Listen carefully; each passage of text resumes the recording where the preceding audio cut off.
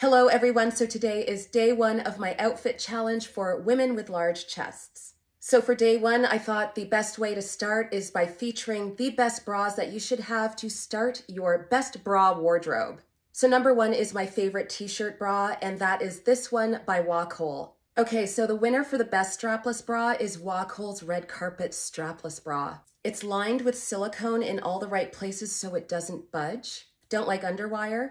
Get Knix's Wing Woman bra. It lifts and separates, it's super comfortable, and it's beautiful. The best sexy lacy styles, I'm gonna have to award it to Wacoal again. We actually have a tie for the best lacy bras. Montelle does some of the most beautiful lacy bras in fabulous colors. Okay, I will link all of these for you in my stories, and they are also listed in my caption.